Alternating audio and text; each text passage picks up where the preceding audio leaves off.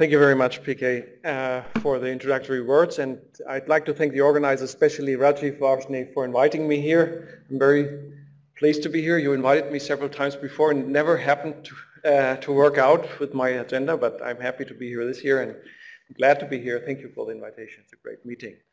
And uh, I'm also glad that I have five more minutes. That gives me... well, no, just kidding. I try to stay in time. Okay, I'm here to talk about barley. It's not the main crop for India. I hope, though, that uh, we can still make a case here because barley is very closely related to wheat and many things that we do in barley is also, of course, of relevance for wheat. So I want to talk to you uh, about barley, the status of the barley genome sequencing, and how this influences our current approaches for uh, capturing genetic diversity and uh, yeah, setting up new tools for for cloning genes and discover traits. So for those of you who are not working with barley, this is how a normal six-row barley field looks like in many places of the world. Um, not very exciting, but uh, if you look into a diversity collection, then you see that it's not all about barley. Barley is a very diverse crop. It has a huge amount of genetic diversity in ex situ gene collections.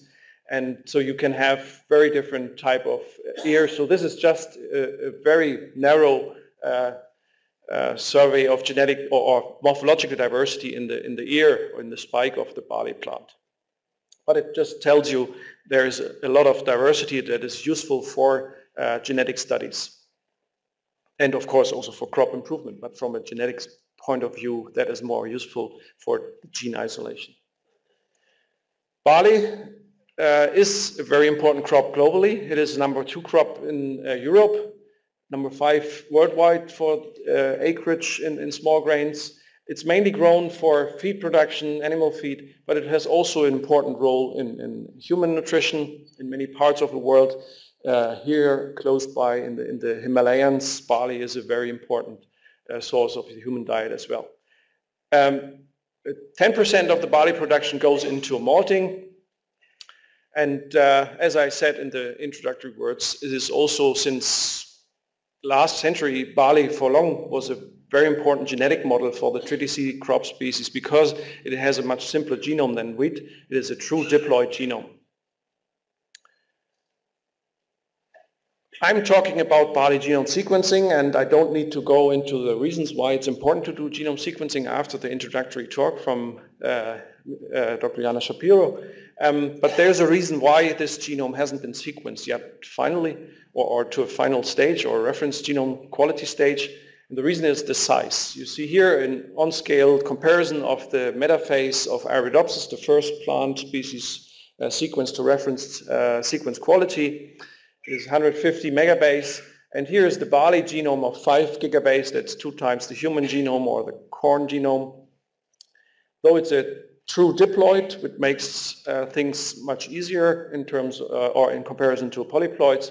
But still, it's a huge genome, and the reason for the size is not because it has many, many more genes uh, than other species. It's just that it's packed full of repetitive DNA. And uh, just from survey sequencing and statistical analysis of the sequence, one could already extrapolate that there's more than 80% of repetitive DNA in the genome. So in 2006, uh, international consortium formed to still uh, tackle this uh, problem of sequencing the barley genome and we followed the example of many other genome projects before.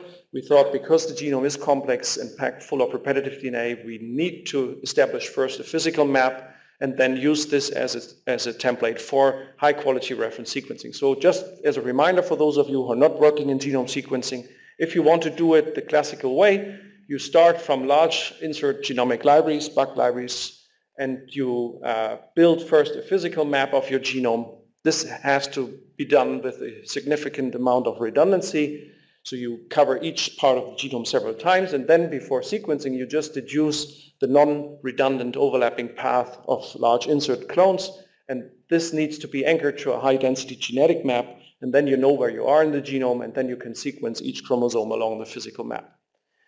If you look into uh, the main genome papers that are published nowadays, most of these follow the shortcut version, the whole genome shotgun sequencing approach, which is very useful, especially in small genome crops, um, is also useful in large genome species, but mainly to address the gene space, so the non-repetitive part of the genome.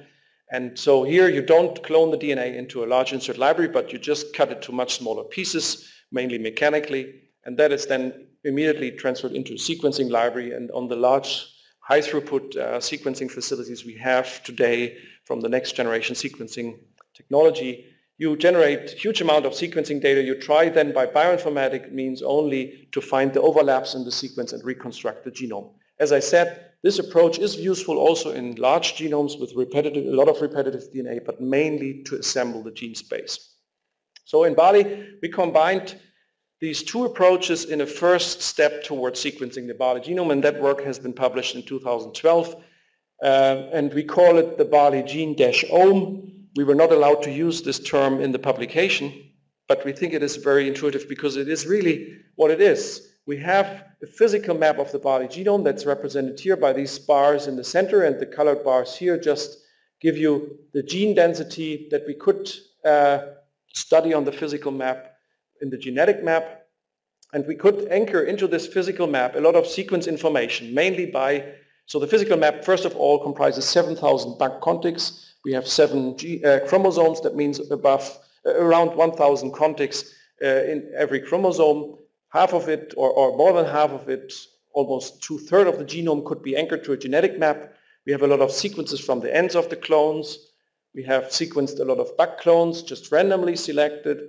And we have this whole genome shotgun assembly of 1.2 gigabases and 300 megabase of this whole genome shotgun assembly could be integrated by this sequence information and by the uh, by, by, anchored markers into this physical framework. And that allowed us to study gene density in the genetic map and in the physical map. But we have here really a gene-centric view on the physical genetic uh, organization of the barley genome. We could anchor it at high density mainly by help of markers derived by Jesse Poland, by genotyping, by sequencing. Half a million markers at that time allowed us to anchor to the genetic map and we had 20,000 of the predicted 30,000 genes in this framework.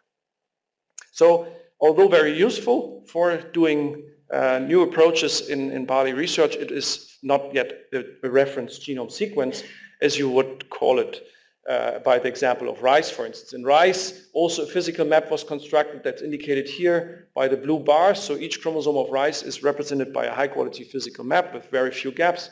And the physical map of rice was completely sequenced, so there are few remaining gaps in the, in the rice genome.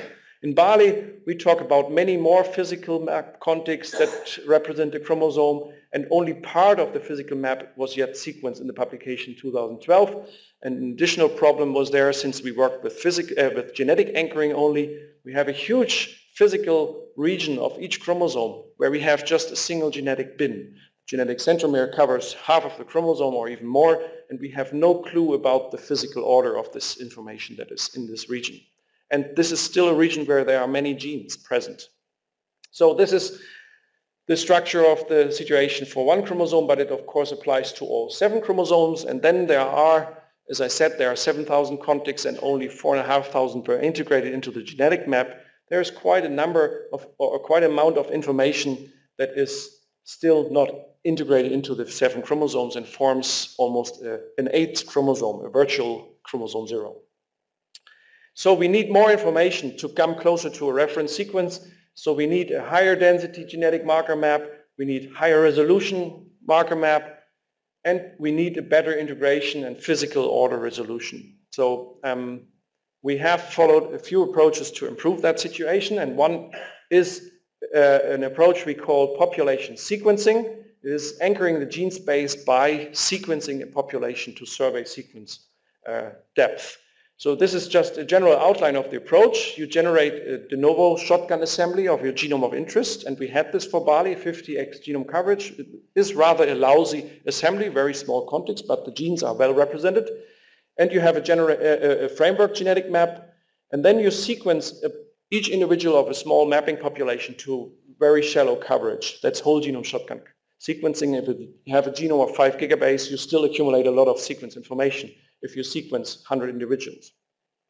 You do then you're read mapping from the next generation sequencing data to your whole genome shotgun assembly and you do SNP mining and you determine the SNP frequency on the whole genome shotgun contigs and you can handle them like genetic markers and order your whole genome shotgun contigs into the framework map. We did this with two populations, both uh, homozygous individuals from uh, uh, F8 RIL population or from a double haploid population. And then we could read map, uh, map the reads against our whole genome shotgun assembly, compare it to the reference map, and integrate then based on the SNP frequencies on this whole genome shotgun contigs to the markers. Uh, we could then order like beads on the string uh, the physical contigs from the whole genome shotgun assembly into the genetic map. This was very useful. In fact, we could data mine 11 million SNPs out of this work and integrate from the 1.2 gigabase or 1.2 gigabase of the 1.9 gigabase assembly uh, into the genetic map and position 80% of the annotated genes of the barley genome assembly to a genetic position. We compared this to the published physical map anchored gene space and the genetically uh, anchored gene space and we got a very, sorry, a very good uh, congruency of these two data sets. But the message is here, even without a physical map for any genome of interest, you could generate a genetically anchored gene space by this approach and that's very important. The second issue was uh, genetic resolution. Um, we sequenced with genotyping by sequencing over 2,000 individuals of an advanced RIL population and we could generate a map of about 3,000 high quality SNPs from that data and we have now a reference map with below centimorgan resolution which is very very useful to order uh, the genetic map or, or, the physical map information in the distal parts of the chromosomes. I can tell here without going into details that although this is really a very useful resource, for the genetic centromeres, it is not providing you any additional information. Yeah, We have no additional uh, information for ordering the physical map in the genetic centromeres. And that is, as I said, over half of the chromosome. Um, but the below centimorgan resolution is now very important to order our physical map information towards the telomeres. You see here that individual uh, clones in the contigs uh, carry uh, high quality SNPs with different genetic positions. And if you look at sequence clusters out of the chromosome sequencing, we see that we have over 97% uh, consistency with clone order in sequence clusters and physical map clusters and genetic map positions. So this is a useful information for ordering uh, the physical map in regions where we have sufficient genetic recombination. The third issue was physical map resolution, really. Um, and we uh, were lucky that Alan Schulman won uh, a lottery from Bionanogenomics at the PAG conference in 2014, uh, where they said the winner of the lottery can have a bio-nano optical map for his genome of interest. And then he raised his hand, we want barley. And we were, of course, very happy. So I don't go into the details of the technology, but bio-nano technology is uh, offering a platform that allows you to do optical maps, which means you generate high molecular weight DNA over 200 kb in average, insert size, uh, average size, and you directly label the DNA molecules by a, an enzyme that doesn't introduce restriction cuts, but just nicks. And then there is a replacement uh, repair that introduces then fluorescent labels into this restriction sites. And then you run these large molecules through nanopores and you line up the molecules with very characteristic um, uh, optic, uh, uh, fluorescent patterns and you can generate physical maps. You don't have sequence information here, but you, you can construct a genome map based on that technology. And BioNano generated an optical map of barley with 52x genome coverage. And yeah, so this is how this looks uh, schematically. But there are about 3,000 of these optical contigs of uh, uh, uh, labeled molecules that total to a map length of 4.3 gigabase. So 84% of the barley genome is represented in these optical contigs. And now because these uh, labels are at specific sequence that you can survey in your shotgun sequence or in your sequenced uh, BAC clones, you can integrate this optical map now to your physical map and your sequence uh, resource. So it's, it's very useful and will be useful to order information, especially in the genetic centromeres. So The consortium is working towards sequencing the physical map, BAC clone by BAC clone, and we have accomplished this endeavor for six chromosomes by contributions of different partners, and we are waiting for the final data set of one of the chromosomes, and by end of March, hopefully we have all that shotgun sequence information in place, do the assemblies, and then integrate all the different data sets, and we are pretty optimistic that we can publish this year the first what you would call reference sequence of the barley genome. So much about the status of the barley genome sequencing. I want to give you in the remaining time, which is still 14 minutes, um, 10 minutes actually, for five minutes discussion. I want to give you two examples how we can use already the sequence resource that is not yet at reference sequence quality level for surveying genetic diversity in this crop species and also how we can use it to do very efficient uh, cloning by sequencing of genes. Why am I interested in surveying genetic diversity? Our institute uh, hosts the largest uh, ex situ gene bank in the EU 29 um, and we have a huge collection on barley. Barley is kind of a lead crop for uh, research at IPK Gatersleben. We have a collection of over 20,000 barley accessions and what I showed you in, in one of the early slides, there is a tremendous morphological diversity that is of course also represented in genetic diversity and if you would be able to directly uh, select germplasm by a very informed uh, approach for, for breeding purposes that would be really very useful. So we, are, we have an interest to really unlock this genetic resource. Um, of course, with a 5 gigabase genome, it's still too early to think about sequencing each accession to whole genome coverage. So we need a possibility to uh, do re, uh, complexity reduction and we teamed up with Roche NimbleGen and partners at Dundee in, in Scotland and, and Minnesota, also in Kansas, to, to establish um, a, a so-called exome capture assay, a liquid phase exome capture assay. What is this? It is nothing else than a mixture of oligonucleotides that represent your gene space. And these oligos are linked to a biotin label which allows you to pull out these oligos after hybridization to genomic DNA from a solution. So you shear up your genomic DNA to small fragments that are suitable for direct sequencing. You end repair and then they are already in a format that you can use them on a sequencing platform. You hybridize to your oligo mix, pull out your gene space uh, with streptavidin coated magnetic beads and then after hybridization and washing, mainly exons are kept on these oligos and you can then directly use this for high throughput sequencing. So our capture is designed on the basis of the annotated genes. So we have RNA sequencing data that was used to annotate the gene space on the whole genome shotgun assembly. We have a huge amount of data from full-length cDNA from a different genotype, and we did also de novo RNA sequencing assembly because the whole genome shotgun assembly, of course, is not fully representative of the genome yet. In total, we had 61 megabase of non-overlapping target space covering most of the high confidence annotated genes and a lower amount of the low confidence genes.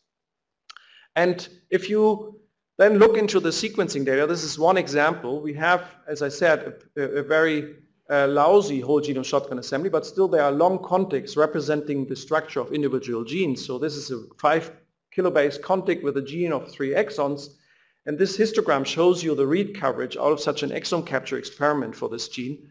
And you see that this the gene space is very efficiently captured. There's almost no off-target read here. And if you sequence to sufficient sequencing depth, you may be able to even bridge small introns that are not represented by oligos. So it's very powerful and um, very useful and we used it to capture the diversity from the gene space from different barley uh, genotypes. These are just two, two-rowed uh, barley genotypes. You see we have sequence diversity distribution here along the seven chromosomes and higher sequence diversity towards the telomeres, always a drop of diversity towards the centromeres, which is to some extent represented here also by the distribution of genes, of course.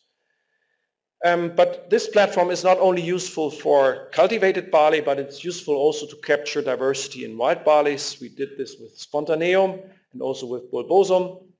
And you can capture uh, about 250,000 to 1 million SNPs in the gene space of different uh, accessions uh, in, in, cultivated in wild barley. And you see here that as we would expect for Spontaneum and Bulbosum, you have an increase of diversity uh, of, of, an order of magnitude between Bulbosum and, and. So this platform is very useful and efficient. And we use it not only to capture diversity in, in germplasm, but we use it also for, uh, well, this is just an example. We are in a process with, together with groups in, in Scotland and in Minnesota to capture the diversity in 137 landraces and 130 spontaneum to get a good idea of gene uh, sequence diversity and also some evolution in barley. But I won't talk about this here. I want to show you how we use this complexity reduction tool also to uh, do mapping of genes and, and cloning of genes. And uh, this idea was introduced by Detlef Weigel's group a while ago. He combined the bulk segregant analysis that many of you who are involved in genetic mapping with molecular markers are familiar of.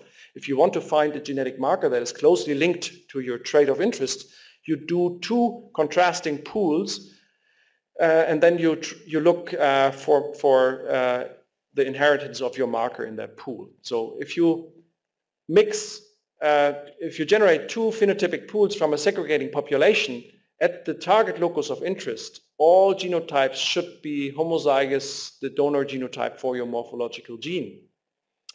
So if you would sequence the DNA pool, of, uh, the DNA of such a pool, you could ask uh, for the distribution of SNPs in, in your reference sequence. So you would do your read mapping against your reference. You find uh, segregation of your SNPs. So this is an unlinked locus with 50% SNP uh, frequency. If you would go along the chromosome in a sliding window approach, you would approach to the target locus with 100% SNP uh, uh, allele of your donor parent here in this population and 25 to 30% in, in, the, in the opposite uh, pool.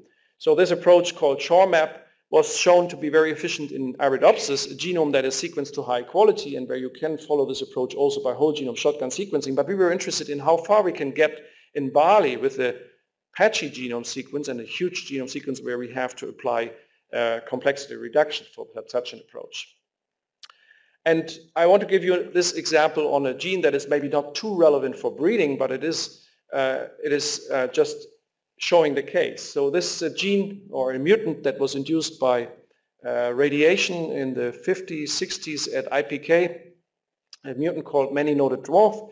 It uh, increases the plastochron, so the initiation of nodes and leaves, so you have a higher number of nodes and leaves, and under field conditions you have another set of pleiotropic effects. So you don't think necessarily that this is useful for breeding, but it is definitely very useful to understand uh, fundamental biology of the crop. We generated a small mapping population, 100 F2 plants, and we made just two pools, two phenotypic pools. One was mutant and one was wild type. So we took all the mutant individuals from the small population, pooled it in, in one uh, DNA pool, and we used 25 wild type, which would be homozygous wild type and heterozygous because it's a recessive gene. We sequenced these two pools after exome capture and plotted the sequence diversity of the two pools against our reference map. And we could clearly identify a locus on chromosome 5H, which was coinciding with the previously known location of the gene. The resolution, of course, was not very high, which you couldn't expect with 100F2, but we could survey then for gene deletion in the reference genome. And there was only a single gene that was deleted and co-segregating with the phenotype this was in a physical contig carrying a single gene. It is a member of a cytochrome P450 family. And um, although we were already convinced that this is our gene of interest, uh, we then looked in a subsequent step into uh, alternative mutant collections. So there is a huge collection of mutants at the Nordic Gene Bank in Sweden we got 37 accessions that were um, annotated as carrying a many-noded dwarf phenotype, and in 28 of them we found a functional change in the gene that we identified by this uh, mapping by sequencing approach. There were complete deletions, larger deletions, disrupted splice sites, premature stops, and non-synonymous amino acid changes. And furthermore, we have a tilling population that is EMS-induced in, uh, in a two-rowed barley at IPK, which we use for functional genomics. So tilling is targeting-induced local lesions in genomes. You screen the DNA of many thousand plants to identify mutations in your candidate gene. And we had a, a stop codon mutant in our Barke tilling population and three examples for deletions, non-synonymous SNPs, and stop codons in the other resource, all showing the higher plastochron, so a clear confirmation of the identi identity of the gene. So I come to the summary. I hope that I could give you a good idea of where we are with uh, physical mapping and, and, sequencing the barley gene space and uh, something I couldn't talk about, but we have pretty similar resources available now also for wheat with the paper in Science last summer and also for rye. So for all the Triticeae genomes, and that's why I gave you the example of mapping by sequencing here, please think about your approaches. In, in all the other species, we can basically go the same way. We are in the process of sequencing all the chromosomes along the physical map, and we, we are optimistic that we finish that work this year. And uh, this allows us now to do completely new things in these important crop species. We can survey nature genetic diversity at much, much higher efficiency and uh, we can do association genetics GWAS in barley. There are many examples already in, the in, in, in published work. And I think we have all tools available to really apply um, genomics-based breeding in the Triticeae. And uh, Mark will give a talk later in this conference, and, and, breeders are doing this exactly now in barley, at least in, in Europe as far as I know. So that's what I always tell to a different audience. I don't have to stress this here. I think it's really time to spend our energy working in crops, and we have the resources in many crops now available. And in crops where we don't have it, we have examples and ways to go forward very quickly to generate these resources at much lower costs than 10 years ago. This is work of a large number of people. There are many people, I cannot list them uh, or name them all, uh, from my group involved in physical mapping and sequencing and mapping by sequencing. We collaborate a lot with the bioinformatics team at IPK and at the MIPS at Munich. And we had collaborators for sequencing, uh, for phenotyping in different aspects, collaborators at Scotland, Minnesota, JGI, for, for the PopSeq approach also with, uh, um, where is he, Jesse Poland from KSU, and for the different chromosome sequencing, Chengdao Li, Mats Hansson, Guoping Zhang, Alan Schulman are also PIs on some of the chromosomes, and a lot more international collaborators, all under the framework of the International Barley Sequencing Consortium. And funding of my research comes mainly from Ministry of Education Research in Germany in these two programs, from EU funding and the German Research Council. Thank you very much.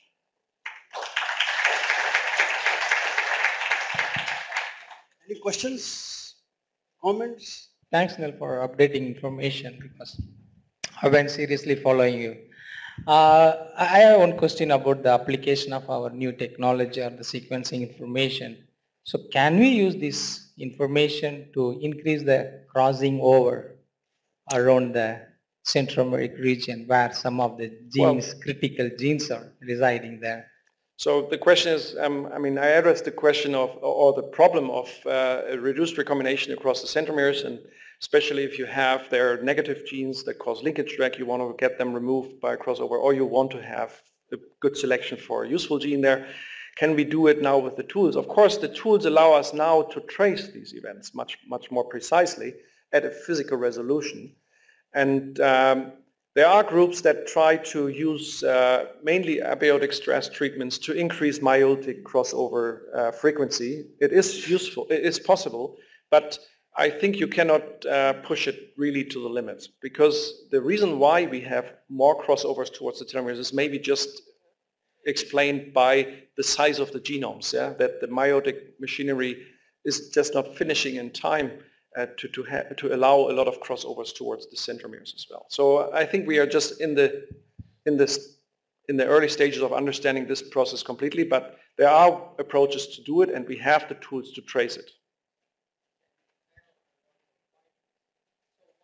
Take home message for wheat sequencing. I'm from wheat side. So can you suggest something for the wheat sequencing? For from, the wheat sequencing? Oh, this is a political area now. Um, I have my clear recommendations. I'm struggling in discussing this issue. I'm, I think what I showed you is that we basically do the same as the Wheat Genome Project. We are convinced that sequencing the chromosomes along the physical map is a very useful thing. Um, we did a lot of things on our way towards that yeah, because we were not yet ready to do many uh, this genome sequencing along the physical map immediately so we tried a lot of things and we are in close discussion with the wheat community about it. Um, I think at the moment it would be very useful uh, to get the, the, the, physical map sequence for sure. But um, there are other tools I couldn't talk about um, that allow you also to anchor uh, whole genome shotgun assemblies Uh, in, in the genetic centromeres without a physical map, if you're interested, we can talk over in, in the break. Um, we use it in barley as well. So not only the optical map we use for ordering the physical map in the centromeres, but we use 3D conformation sequencing, which is extremely powerful and would be useful also in wheat.